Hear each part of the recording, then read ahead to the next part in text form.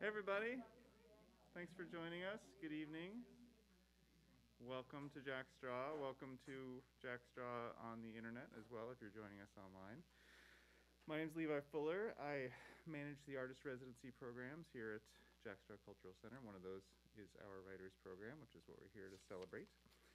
Um, I want to start by saying that uh, today we meet on the lands of the Duwamish, Suquamish, and Muckleshoot nations and other Coast Salish peoples, past and present. The staff, board, and artists of Jack Straw Cultural Center acknowledge that we're living, creating, working, and playing on the traditional land of the first people of Seattle and the Salish Sea. And we honor them and the land itself with deep gratitude.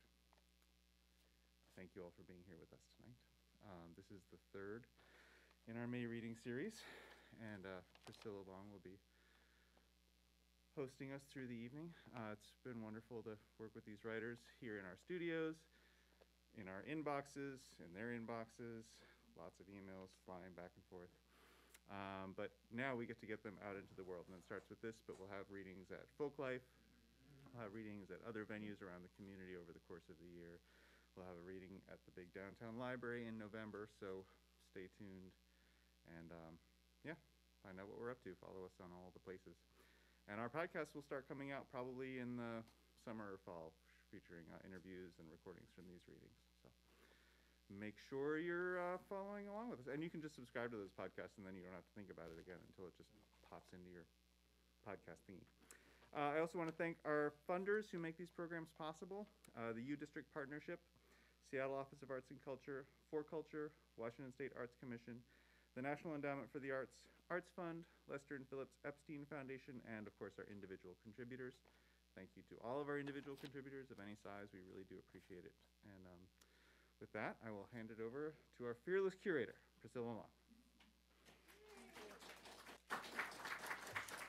Thank you all for coming, and thank you, Levi, and thank you, Joan Rabinowitz, um, and thank you, the engineers, um, for making Jack Straw this uh, completely vital um, art center in our region. Um, so, I like to start with quotes. So here's a quote.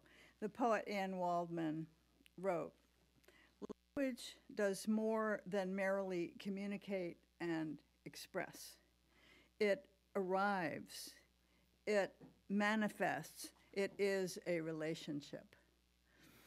And then also, I've been reading the architect Louis Kahn, and um, he wrote, A work of art is an offering of art.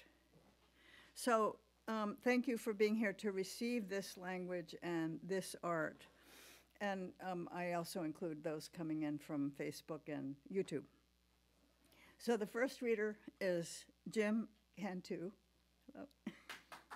Uh, and um, Jim is a poet who also writes um, prose and personal essays. His, his work appears in the anthology Writing the Land, Windblown, which is, I think, if I have it right, it's a anthology of um, conserved lands. And also in the anthology In Xochitl in Cuicatl, which is um, 100 years of Latinx um, poetry. And in Raven Chronicles, and in other in other places. And also, um, he is a, was a writer in residence for La Salas La Cochina event. He graduated from the Artist Trust Literary Edge program.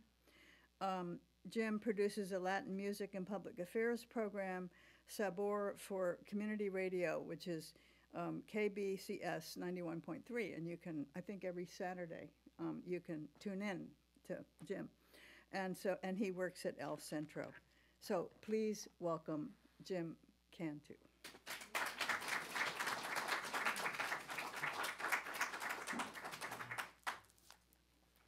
Uh, thank you, Priscilla, uh, for your mentorship in the in the program.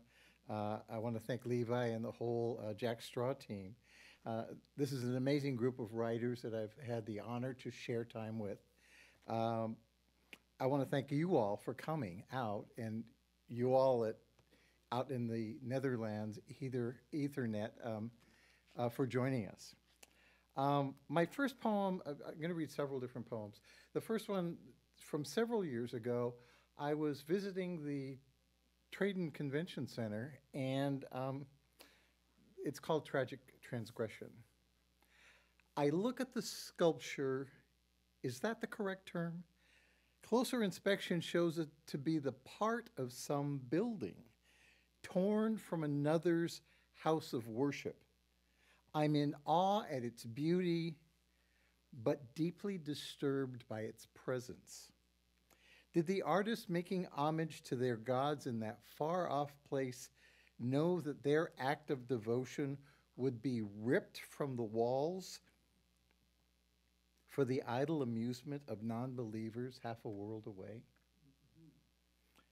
A line not so fine between admiration and obliteration.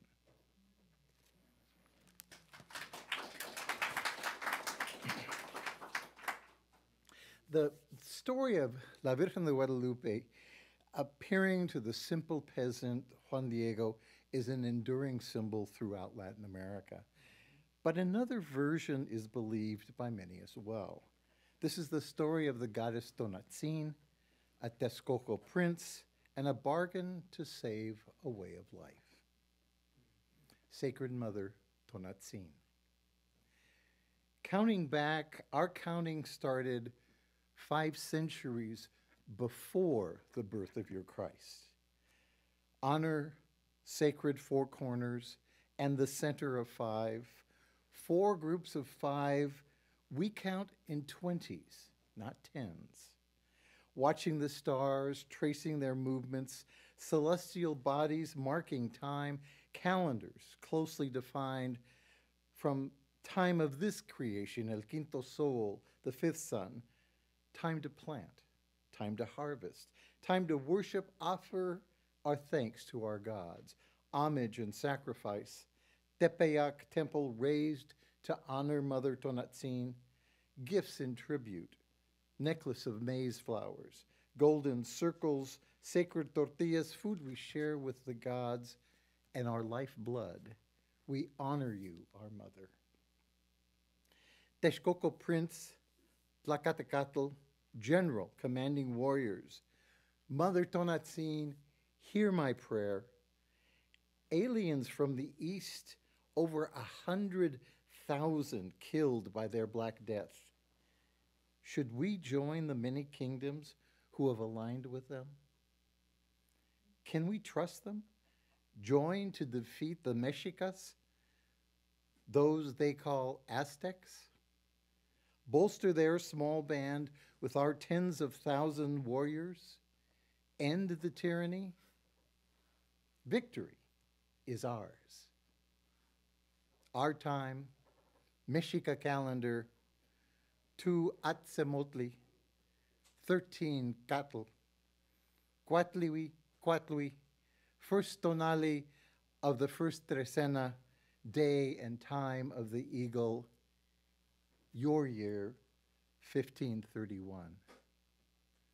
Comforting warmth of victory cooled over the 10 years since the Mexica's defeat. Sweet blossoms of success turned to bitter ash. Noble princesses married to Spaniards to seal false bargains. Sacred temples razed to gaping wounds in hallowed ground. In winning, did we lose ourselves? To speak old ways is forbidden. To carry on old traditions is forbidden. To worship our gods is forbidden. Tongues torn from mouths, punished by torture, dismemberment, burning death. Sacred Mother Tonantzin, have you forsaken us? Hear this plea from your Texcoco prince. Are these aliens even human? Their God does not feed off normal sacrifices, gifts of food or blood, exchanging our life to sustain our God's quick, swift sacrifice. No, their gods feast on our anguish.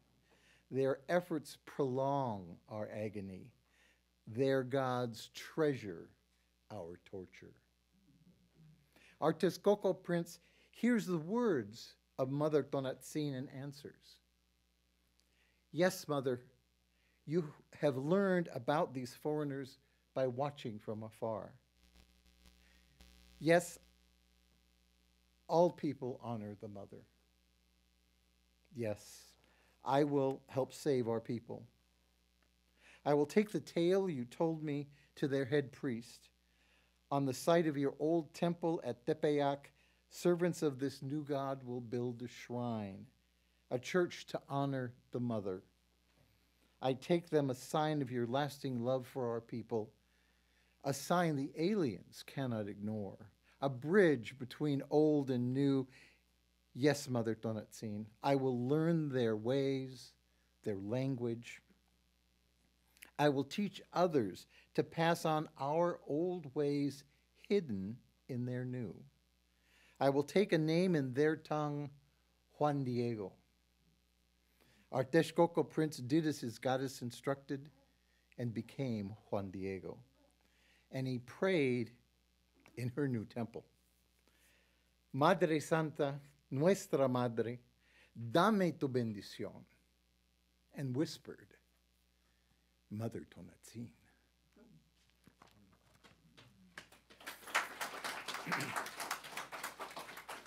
Um, I, I write a lot of like historical stuff, and this is from more, more contemporary times, relatively speaking. Um, a flock of vampires. When do we stand up? How far do we go to protect our rights and freedoms? What about our neighbors' rights? Or people a thousand miles away on our southern border? Let me tell you a story of mi gente nuestro gente del valle, though we each come from our own valle. This is the story of someone who stood up. But do I have the right to tell our stories? What is history but one person's point of view? These are true events we do not hear about often. Let's set the time frame. 1821, Mexico wins freedom from Spain. 1829, Mexico abolishes slavery. But some white immigrants in the Mexico state of Texas begin a movement to start an independent slave owning country. 1836, Texas declares independence from Mexico. 1846, the U.S. invades Mexico, and after two years of battle, overruns Mexico City. You must remember the song. From the halls of Montezuma. Well, that's the war. 1848, the Treaty of Guadalupe Hidalgo grants U.S. over half of Mexico's territory. Juan Nepomuceno Cortina Goseascochea, Red Robber of the Rio Grande, or Robin Hood of the Rio Grande. The Cortinas were a rich family owning property on both sides of the new U.S. Mexico border. Juan fought the Yankee horde when they invaded his country in the mid 1840s.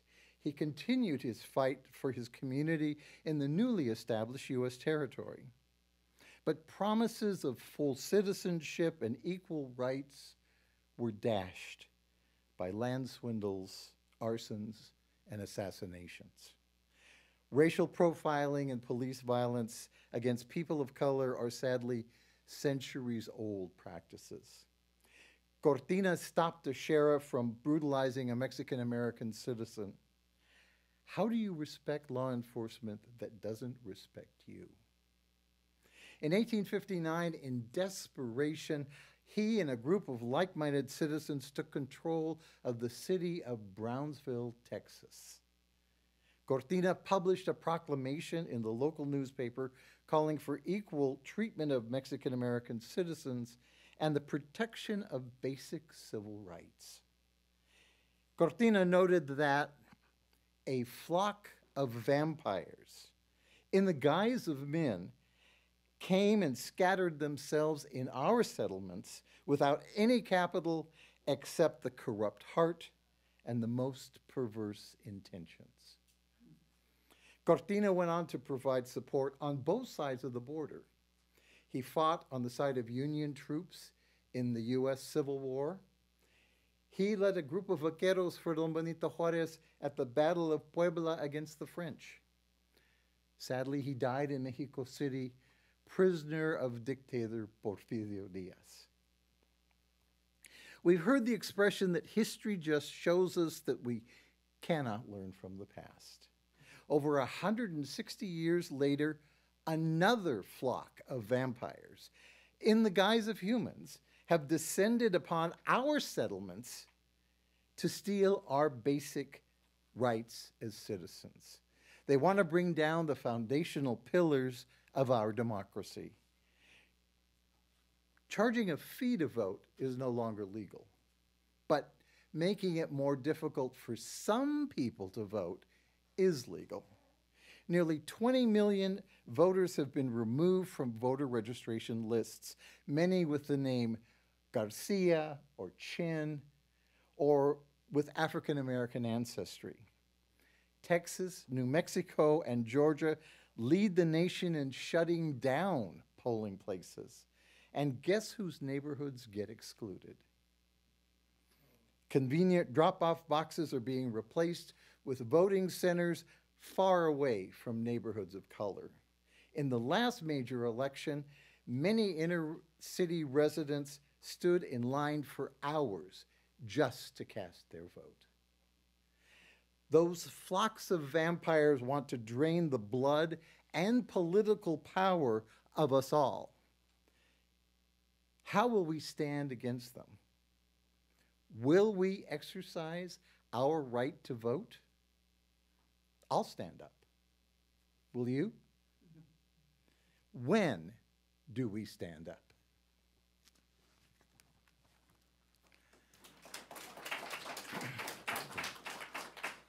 Um, one last piece, kind of from a more personal note. Um, I had the, the wonderful good fortune uh, and blessing to share my life with uh, a, a remarkable lady. This is my song of solitude. Let me sing to you a song of solitude. Darn the torn threads of damaged dreams. Piece together the puzzle of my shattered heart. We promised each other forever a vow taken with pomp and celebration before family and friends. Nearly four decades. How did they pass so quickly? Was I paying attention to the wrong things or the wrong people? Her surprising and soft touch on my neck, a reminder of her love. So hungry for human contact that I grow my hair long, pretending that some part of her lingers. Another night of broken promises, forgotten whispers of desire, spoken only to myself. Thank you.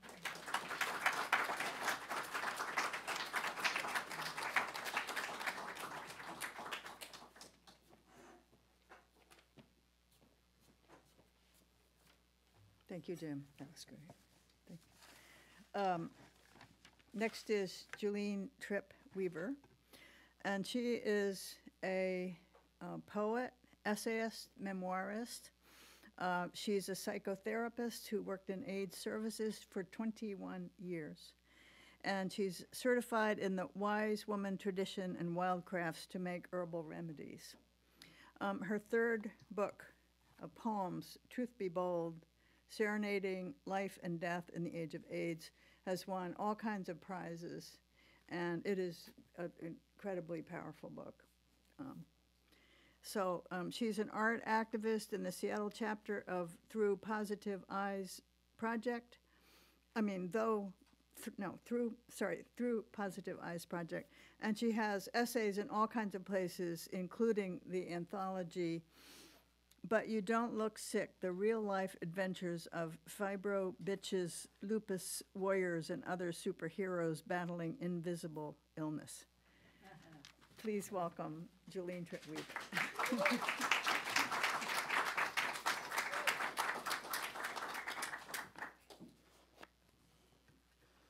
Thank you, Priscilla. I want to thank the Jack Straw program, the people who have enabled this to be here. I'm really thrilled to be a participant with Priscilla this year. So thank you for selecting me, and thank you, all the technical staff. Avoiding burnout in a 365, 24 7 work environment. On December 29th, 1989, I went to the STD clinic for my HIV test result. It was positive. The news hit like a tidal wave. In process of relocating to Seattle from New York, working a survival secretarial job, I absorbed this knowledge. A retrovirus lived inside my body. Life sped up. Everything became urgent. HIV was a motivational force. Accepted into a master's program at the Leadership Institute of Seattle, LIOS, I was eager to start a new career. I longed to make a difference, to find heart satisfaction, to help others through my daily efforts. Thus, my goal became to work with people living with HIV and AIDS. What better way to contribute? To learn about AIDS, to learn how people died. Three months I searched for work. To my great fortune, I was offered a secretarial position at the Northwest AIDS Foundation, NWAF. My counseling degree would be an asset for a clinical position. I could apply internally for jobs offering direct support, direct contact with clients in either their case management program or their housing program. Determined I'd make this work. It was a coming home to my people and the beginning of a long career with meaning beyond what I could have expected this lifetime. AIDS service organizations started as a grassroots movement. The gay community was in crisis, forced to rally for our sick and dying young men. It took till January 1986 before President Ronald Reagan first said the acronym AIDS in public. Stressed, the community came together, formed AIDS service organizations, and initiated a political movement to advocate for our loved ones, brothers, lovers, family, friends. Our federal government did nothing those early years. For my clinical internship, I moved into a part time position before graduation. I applied and was hired as a client advocate. A year later, I was hired into case management. This was heart based work.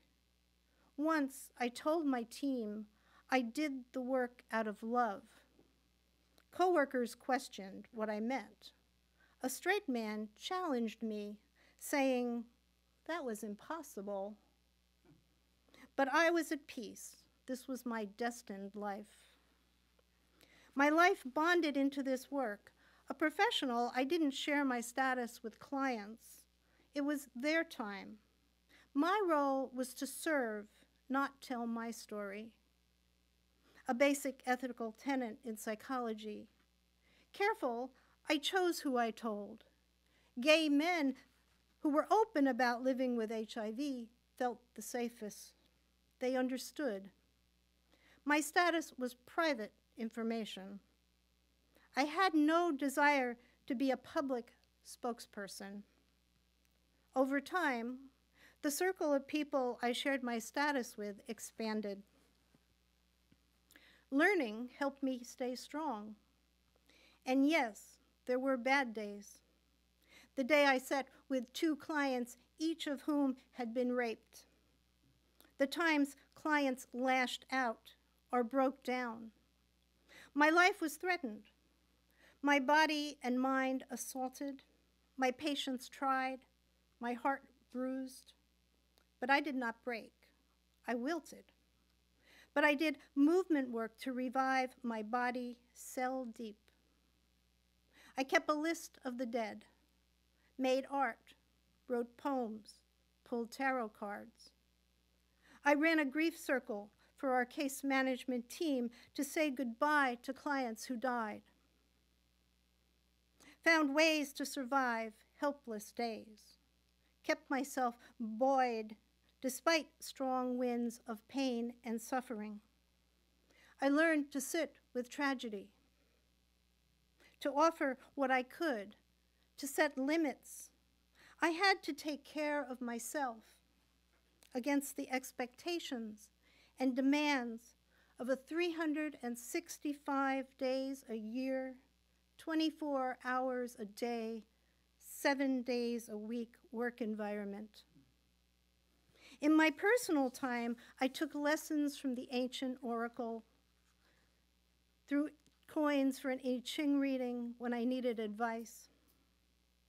With anxious, stressed clients, I listened and did the lunar breath, a long, slow exhale from the back of my throat that I'd learned from continuum movement.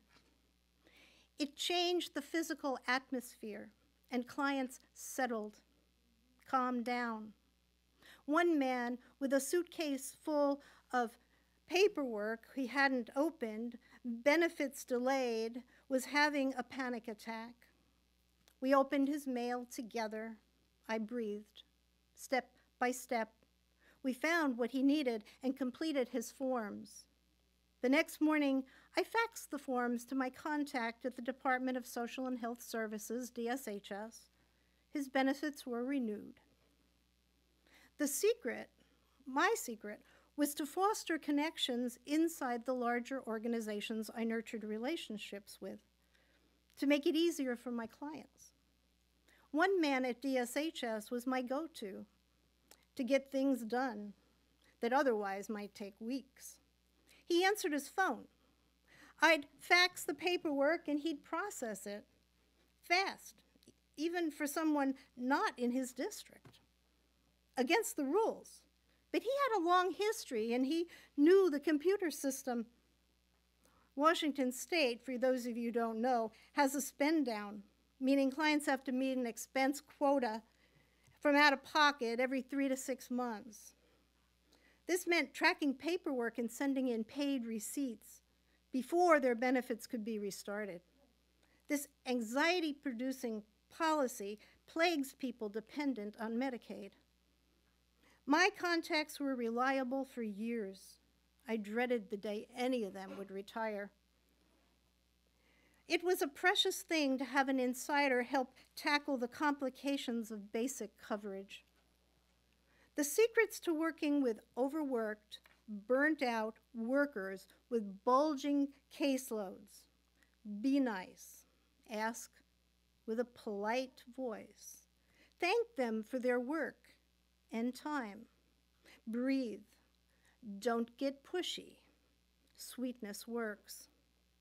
There are so many rules, and the systems are set up to rule people out. So the so use basic manners, and they'll be willing to help you figure out how to get what you need. Coaching clients who went to DSHS or Social Security on their own, I said, they are your friend. They want to help you. If you go with this attitude, you will have your needs met, your questions answered. Appreciate them with a smile. Say thank you. Rewards from the work came in small moments. When I, what I did for a client proved successful, it felt good when things worked out and clients were able to get what they needed because they met the guidelines and rules. I went out of my way to write letters to programs and administra- administrators when their rules weren't in clients' favor. The, politi- the political part of the work, to be an advocate. At times, due to the systems or to the lack of funds or resources, I had to lower my expectations, had to explain the rules to the client. Politeness made it easier, but it was painful when the system didn't favor the client. There are long term non progressors, but I was not one. My CD4 count, the immune cells that protect a body from infections, my body, and from opportunistic infections, went down despite the herbs, despite the alternative studies. Still, I trusted my body. When first diagnosed, I questioned would I replicate my father's early death? When first diagnosed, but after 11 years living with HIV, I passed my father's death age 49. Passing that measure was huge. It gave me strength. I still missed him. I used to believe he protected me.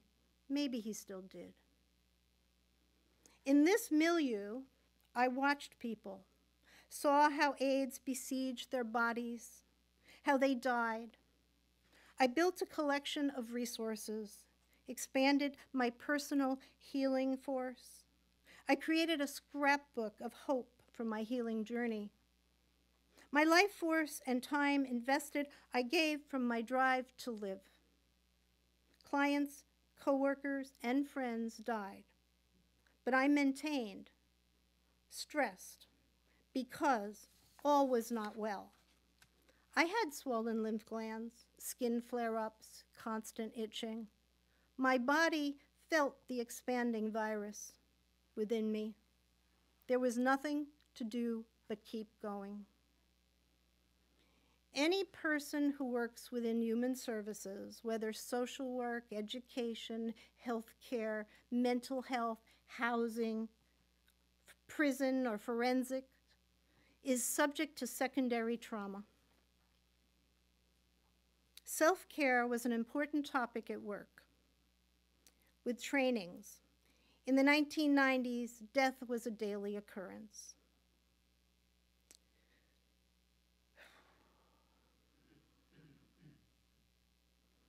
Our caseload changed because of death more than any other factor. Secondary trauma is built in with social service work. With AIDS work, we had the added stress, stress of daily deaths. We developed a second sense, a hyped up capacity for what harm can happen in any situation. Witness to stigma and breakdowns, we see the worst and the best in our fellow humans. This shadow side is lodged in our consciousness like a plague. Hike to the top of a mountain, friends enjoy the view. But you wonder, how many jumped off this cliff? Drive across any bridge and think, how many jumped to their death? In a city alley, you eye the dark doorways for drug deals, murders, bodies. You hesitate to enter public restrooms or walk through a tunnel. Couches or beds on Craigslist are likely filled with bed bugs. Rape is a given. Our nervous system on high alert, frazzled, our body contracted, what we've seen lurks wherever we go. The pleasant persona we carry, the love for clients, how we work to soothe the wrongs, a steady beat. Breathe. Keep dark humor quiet. It's a way to withstand assault. We stand like a teacher in a classroom, prepared for a shooter to enter with an AR 15. There is a hopelessness under the surface, a question what would I do? Would I survive? At night, wondering about clients behind closed doors, in the park, under a bridge, in jail, in skilled nursing, wondering, are they safe? We witness their pain, their ragged bodies, their tears, the repercussions their life presents. For 18 years, I served clients, gave my time and energy to others living with this virus like me.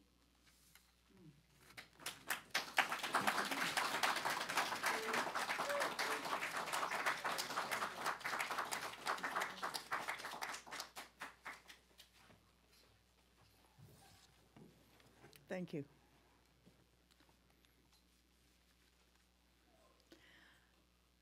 Nancy Mburu is an author and performing poet. Her writing amplifies the experiences and stories of East Africa, East African immigrants in an authentic way that also encompasses Black diasporans' complex relationship with culture, tradition, language, gender dynamics, and race. her style involves uplifting her culture by incorporating her native language, Swahili, and rooting her stories in their cultural and political context. Nancy has a BA in creative writing from the University of Washington and is a 2023 Hugo House Fellow, as well as being a 2023 Jack Straw Fellow. So please welcome Nancy Mburu.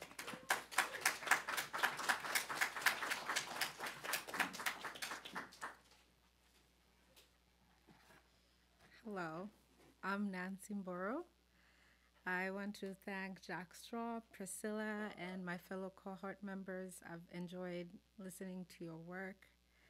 Um, so today I'm going to read uh, something from my ongoing novel called Sauti, which means the voice. And it's a story about a performing poet who loses her voice. Uh, she's an immigrant from Kenya and is on a journey to finding her voice both physically and figuratively. Thank you. Sauti. Nuru starred on the hospital bed. The Holter monitor beeped erratically. She was bombarded by the memories of that morning. Her chest felt constricted. Her breathing got heavier. She felt as if something was lodged in her throat, and her hands attempted to disarm the invisible restraint. She became frantic. Her father had always told her, Dalili ya mvua ni mawingu. And though she did not want to admit it, every cell in her body screamed something was amiss.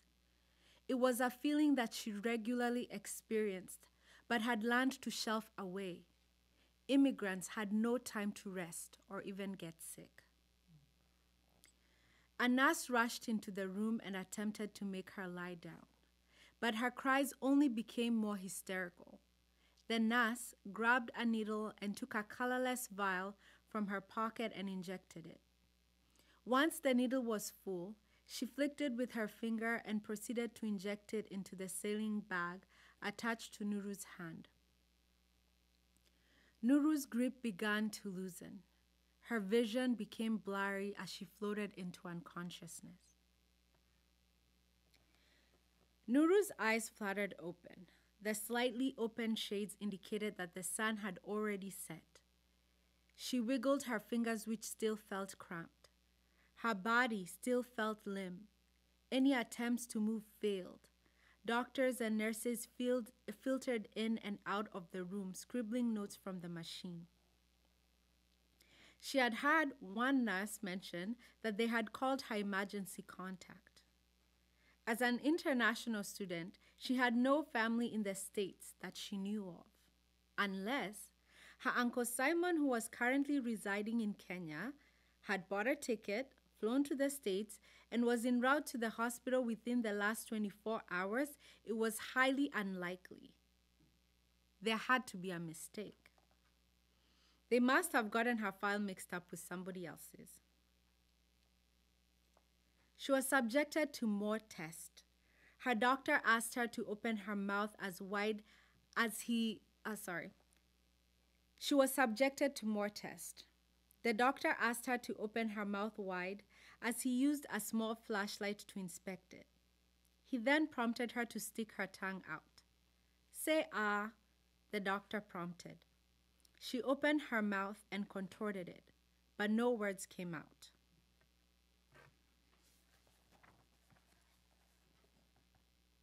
It's good to see that you are finally relaxed. We had to sedate you when the young lady brought you in. She said that you had a meltdown. Can you explain to me why? He asked, pausing for a moment. Nuru knew the young woman the doctor alluded to had to be her roommate Claire. She would not be surprised that the girl bolted the minute she got her signed in. Claire was extremely wary of governmental organizations or institutions linked to them. Nuru opened her mouth. Her lips moved, but no words came out. She cleared her throat again and attempted to speak, but nothing came out. The young lady stated that you haven't said a word in a month. Is this true? Nuru nodded. Have you been experiencing any pain around your throat or chest area? Nuru shook her head from side to side. The doctor continued to ask more questions and scribbled some notes on his notepad. Nuru's leg tapped anxiously on the bed. All she could think was how much being in the hospital would cost her. As is, she could barely afford to keep afloat. Though her visa required her to have health insurance, she knew it was only useful to cover basic doctor appointments and not overnight stays. Once he was done, the nurses proceeded to take her temperature and blood pressure. She looked up when she had a knock at the door that was slightly ajar. She froze as she thought she saw a ghost. An elderly black man with a woman walked in. His features mirrored hers, her obscenely large forehead and that iconic Waiyaki striking nose. He was the spitting image of her father, only younger and a tad shorter. Ruru, oh my God, he said as he proceeded to wrap his arms around her. I don't know if you remember me. The last time I saw you, ulikuwa msichana mdogo. Then she felt it, the crack in her throat, a sound so foreign to her since her arrival. She did not know why she cried. If it was because this was the first time someone had sincerely embraced her since her arrival, or was it because he was the spitting image of her late father? Or was it simply because someone had actually cared? She did not know for how long they embraced until they had the awkward clearing, clearing of the throat from the woman who had now moved to the corner. Ruru, I don't know if you remember my wife Achola, her uncle Richie uh, said as he introduced her. How could she not remember Aunt Achola? She was legendary. Though she was too young to remember her face, she remembered the stories they told about her. The woman who caused her uncle to leave his family. She was a tall, dark dark skinned beauty. Her flawless dark chocolate skin was complemented by her curvy figure and athletic physique. She had an accentuated bottom and her chest was smaller. I'm glad you're all here, the doctor said. I have some good news and bad news concerning Nuru's health. Which would you like to hear first? The good news, her uncle replied. Well, Nuru is in perfectly good shape. Actually, much more than people her age, the doctor said as he flipped through Nuru's file. What is the bad news then? her uncle asked.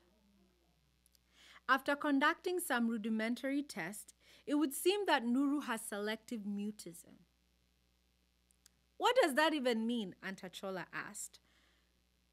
We suspect that her inability to talk is triggered by some psychological trauma, the doctor explained. So you're basically saying that this is all in her head. Aunt Achola threw back.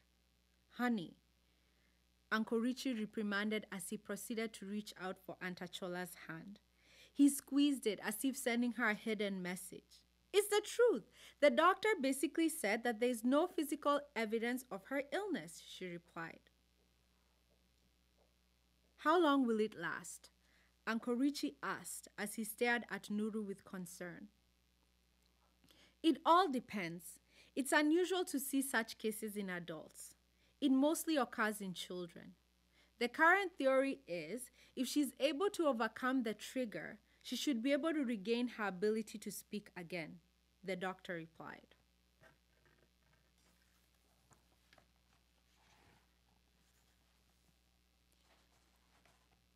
Was this how it felt to be betrayed by one's own body? To repeat a command only to have your body fail to execute? She thought it cruel that an armor she had often felt was invincible as she jumped down the jacaranda trees, scaled the neighbors' walls, and fell off bicycles had finally cracked at the ripe age of 24.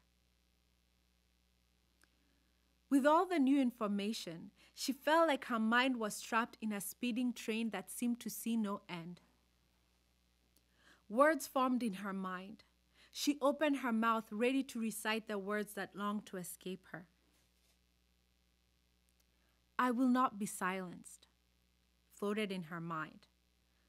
Trapped in a body by the virtue of her own mind, prisoner enslaved, or maybe restraint, she continued.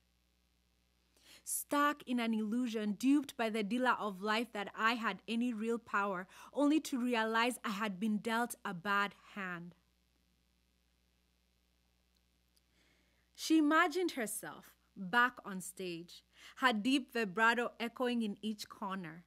She imagined the energy emanating from the audience as they waited in anticipation. She knew where she would add a dramatic pose. Smiling, she visualized how she would hunch her body and change her voice to mimic a prisoner. She imagined the audience captivated by her words and the cheers of applause that would follow. But as she opened her mouth, nothing followed. Her mouth betrayed her. Silence was all that echoed. She had heard of amputees and how they still felt the sensation of their amputated limbs long after they were gone. She could still feel her voice lingering, a ghost of her performance past taunting her. She had nothing of value to offer in this country. Her voice was all she had. Her visa and scholarship were contingent on her ability to perform. A conversation from the hallway filled the room. Her uncle and aunt looked like mimes. Her aunt's hands flared right and left, while her uncle paced back and forth through the slightly open door. She listened. Look, I feel bad for her, but we need to distance ourselves from this. She is not our priority, her aunt Achola said. How can you say that? That is my brother's only daughter. She is my concern. You mean the brother who joined your family as they kicked us out? The day we left, I thought we were done with all of them. Look at her. She has no one. She can't even talk. She looks like she hasn't had a decent meal in a while. This is America. Everyone needs to watch out for themselves. We can't afford to take her in. She needs us, honey. Please do this for me. She literally showed up from nowhere. We don't know what she's caught up in. If this is a juju or village power situation, I want nothing to do with it, Richie. You hear me? I don't want anyone or anything to jeopardize what we have. That is my niece. You can't expect me to just abandon her. I'm helping her whether you like it or not then you better find another place to live because as long as you are helping that girl, I want nothing to do with you, Aunt Achola said. She grabbed her handbag and proceeded to leave Nuru's uncle in the hallway. Thank you.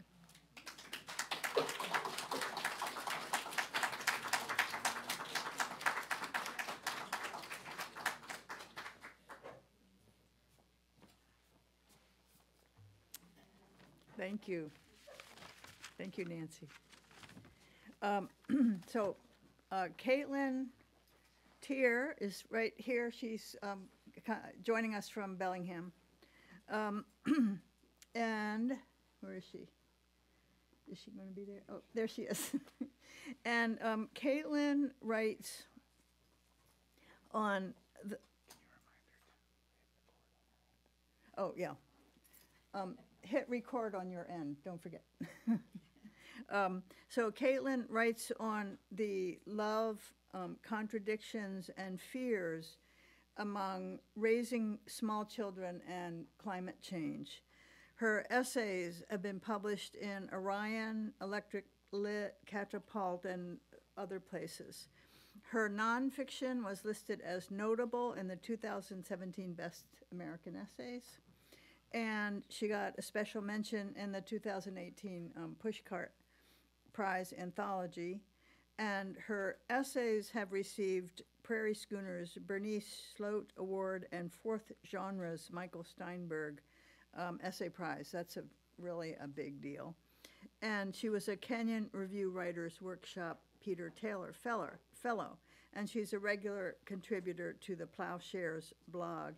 And she holds an MFA from Western Washington University, where she teaches writing. And she's joining us from Bellingham. Um, and don't forget to turn on your record, Kaitlyn. And please welcome Kaitlyn Teer. Thank you, and I am recording. I'm very sorry to not be physically present. I'm recovering from a COVID infection. But it has been an honor to listen to the work shared by my fellow cohort members this evening. And I'm grateful to Jack Straw and to Priscilla and the team who has assisted me with the technology to read remotely. I have two young children, and much of my recent writing has explored motherhood and the climate crisis. This is an excerpt from an essay called Watching the Clock. Watching the clock. My daughter is learning to tell time. At three years old, she stands in front of the oven, hopping on one foot, looking up at the blue digits on the stovetop clock. She can read off the numbers, but can't yet name the minutes greater than 20. It's 658, she'll say. Is it bedtime? In the morning, the ring around the face of her okay to wake clock glows yellow as 6 a.m. approaches, then turns green to let her know when she can start her day. When she is negotiating more screen time, she'll plead her case just five more minutes. And in the kitchen, while we're making supper, she'll shout, freeze! And my spouse and I will hold very still in exaggerated poses until she reverses her time stop spell by yelling, unfreeze! From the back seat, where she sits beside her baby brother on the way to swim lessons, she asks, Are we going to be late? Until a few months ago, every memory my daughter recounted happened yesterday. Now, she speaks of the past in terms of last week, last month, last year. And what she has already intuited about the future is that time runs out. Sometimes, when I am tucking her into bed, she'll turn to me, her face searching mine in the dim glow of the nightlight, and ask in a voice that cuts through the shushing of the white noise machine, Mama, when will you die?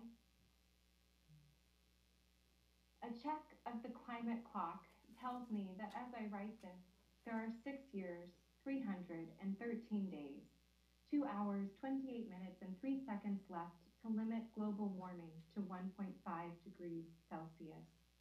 The makers of the climate clock argue that its 15 digits are the most important numbers in the world. Earth has a deadline, they announced when they reprogrammed the metronome, a 62 foot digital clock in New York City's Union Square, to display the countdown until the moment when the worst effects of global warming become irreversible. I can watch the seconds tick by on a bright red banner at the top of the project's official website.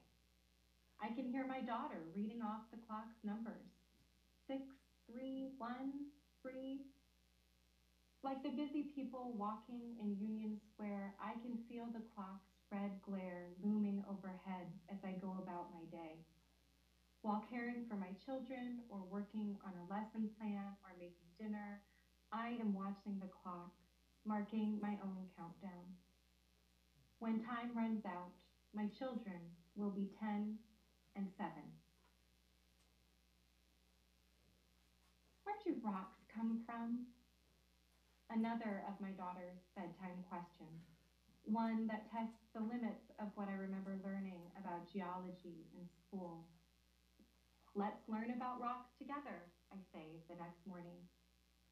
Seated at the kitchen table in front of my laptop, I pull up our public library's catalog to request several picture books about the rock cycle for my daughter, and for me, Marcia Bjornerud's Timefulness How Thinking Like a Geologist Can Help Save the World.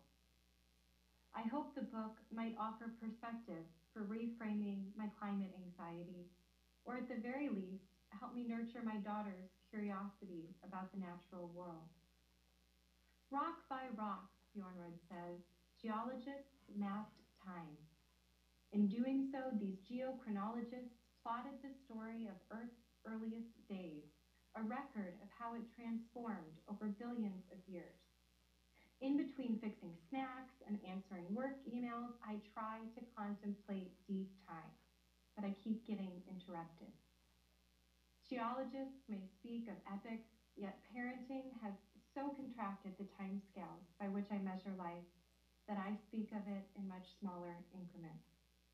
It's hard to hold in mind the immensity of planetary history when the demands of the present feel so immediate and overwhelming. And thinking about the uncertain future my children face is almost more than I can bear. Among the problems Bjornerud identifies with Western conceptions of time is the pervasiveness of time denial, or chronophobia, an ignorance of the planet's past and a reluctance to take a clear eyed look at its future complicate efforts to address climate change. In response, Bjornerud advocates for what she calls a polytemporal worldview, one that holds together the various rates of change that take place on our planet, some fast, some slow. Even if I can't fathom deep time, motherhood at least has prepared me for a polytemporal worldview. My children are always changing, and the passage of time feels paradoxical, fast and slow. A polytemporal worldview, Bjornerud says, may help with another kind of chronophobia, the fear of death, a fear that is newly present in my daughter's consciousness a fear I'm experiencing anew through her questions. Reading Bjornerud, I practice thinking about time like a geologist, but mostly I can manage only to think about it like a mother. Did the dinosaurs die and turn into dirt? My daughter asks from the back seat in the days that follow my grandmother's funeral. Some did, I said and some turned into fossils. Then she asks, When I die, will I turn back into dirt? We all will, I hear my spouse say, because I can't. And then no one will ever see us again? She asks. A question that feels hard and heavy as a rock. Then quieter, she says, I don't like dying. I don't like it either. My attempts to provide age appropriate explanations about what happens when we die and reassurances about how much time we have left feel false and inadequate. In moments like these, reminded of our mortality, I wish I had more power over time. I feel the childish urge to freeze it so that we might remain together in a state of suspended animation. Whether I am watching the clock as it ticks down to bedtime, or I am so immersed in playing with my children that I've forgotten to mind it, whether I desire more time with my children or more time for myself, whether I feel time's passage is too fast or too slow, I never have enough of it. Time runs out. The makers of the climate clock were inspired by the doomsday clock, a clock which has been ticking my whole life. For decades, it was the cover art for the Bulletin of the Atomic Scientist and its nuclear non-proliferation efforts, and it has since become a universally recognized symbol for assessing the risk of global catastrophe. I was born with three minutes left on the doomsday clock. That was before the grassroots nuclear freeze movement, before the fall of the Iron Curtain, before the signing of the Strategic Arms Reduction Treaty, before the dissolution of the Soviet Union. Events which turned back the clock to 17 minutes to midnight. My daughter was born with two minutes on the clock, owing not just to nuclear armament, but also to the interconnected threats of bioterrorism and global warming. On the day I gave birth to my son, the Bulletin's president announced that the clock was now set at 100 seconds to midnight. The official statement reads, quote, the clock remains the closest it has ever been to civilization ending apocalypse because the world remains stuck in an extremely dangerous moment. A question on the frequently asked questions page of the Bulletin's website puts it this way Which is the greater threat, nuclear weapons or climate change? At the end of the day, trying to answer the question is like standing around in a burning house, arguing about whether it is better to die of smoke inhalation or from a falling timber. I keep meeting my children in these midnight hours if the earth is a house that's burning, there is no fire escape. I can hear the smoke detectors blaring as I try to rock my babies back to sleep, patting their backs in the age-old rhythm of reassurance. Last summer, I noticed a meme circulating during heat waves. In it, a child whined, This is the hottest summer of my life. In response, a parent warns, This is the coldest summer of the rest of your life. This dialogue is often superimposed on an image of Bart and Homer Simpson. Aesthetics aside, the meme is a sobering reminder of what's at stake when it comes to global warming, and yet it promotes a kind of climate nihilism that I'm trying to resist. My thoughts about this image are connected to another parenting meme that circulates each summer. One I've come to resent for what it implies about keeping time. Of its many iterations, nearly always there is a sunlit child playing near water. The text reads something like, We only have 18 summers together. The 18 summers meme is a kind of countdown that puts pressure on parents, but especially mothers. A good mother knows to make every moment count, an imperative that haunts me. These memes illustrate what is, for me, one of the most difficult parts of parenting. I am always on the clock. I have come to associate the clock with guilt. Mom guilt and climate guilt. I feel guilty for the time I spend working instead of with my children. Guilty when I resent how mothering keeps me from my work guilty when I choose extractive, time-saving conveniences instead of more sustainable, albeit slower, methods of managing our household. I live in a perpetual state of time scarcity, one that's heightened by the existential threat of climate change. Maternal time, I'm finding, is at odds with Western constructs of time. Some forms of labor simply take the time they take. They cannot be optimized for profit. like making art or engaging in activism, the work of caregiving is inefficient and undervalued. It's a conflict exacerbated by capitalism, patriarchy, and white supremacy, forces that imperil the planet. While writing this, I'm interrupted by the sound of my daughter's bedroom door creaking open. It's not yet late, but it's past her bedtime. By the time she calls downstairs for me, I am already there. She jumps into my arms as I approach the top step and wraps herself around me as I carry her back to bed. She asks for another story. Earlier, we'd watched the beginning of Frozen, a film we have never finished because there is a wolf that chases, snarling after the princess in her sleigh, a scene that frightens my daughter so much she can no longer keep watching. When this happens, I try to soothe her fears. I try to explain to her that this is how stories work, that things get hard and scary, but that usually things work out well in the end. But she is not lured by my promises of a happily ever after. So the kingdom remains frozen, the film paused on screen.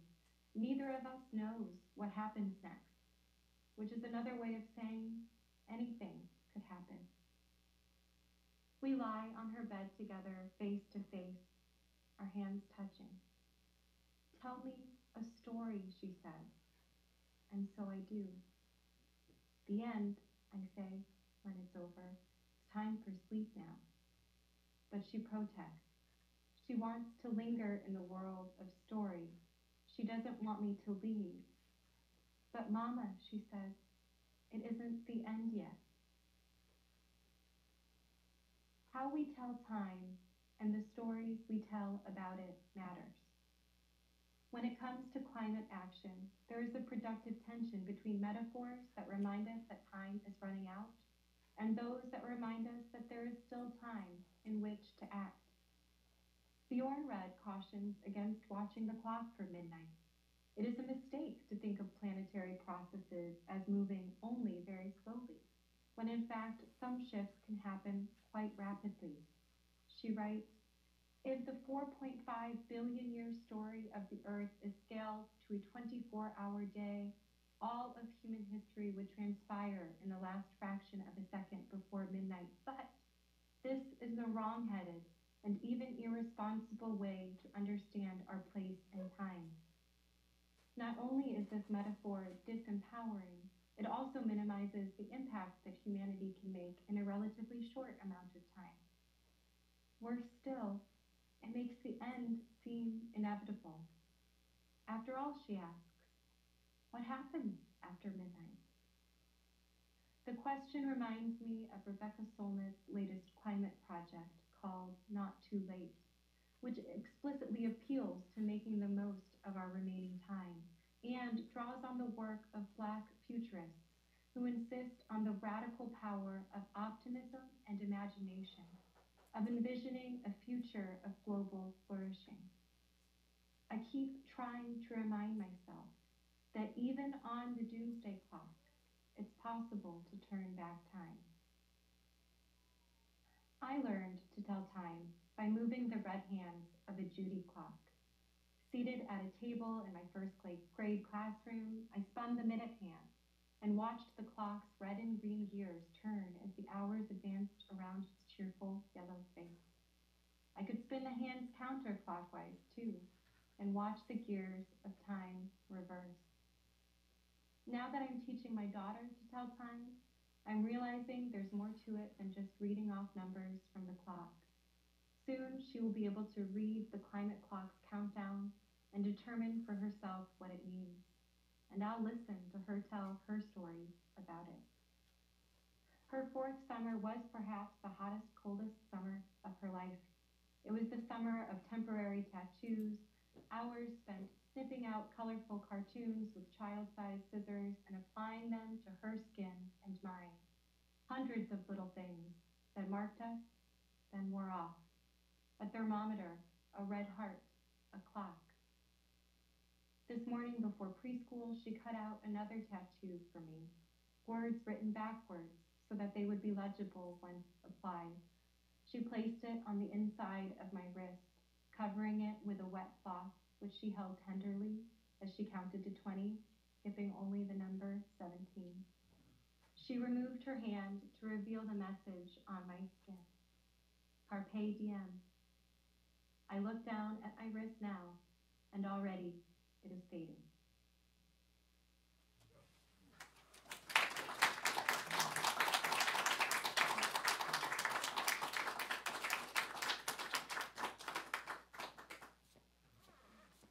Thank you, Kaitlyn. That was fabulous. Thank you. And thank you all for coming.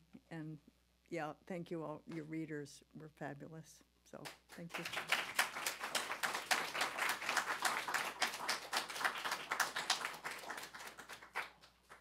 Thank you, Priscilla. Thank you, everyone. Thank you, Priscilla. Thank you, Jack Straw.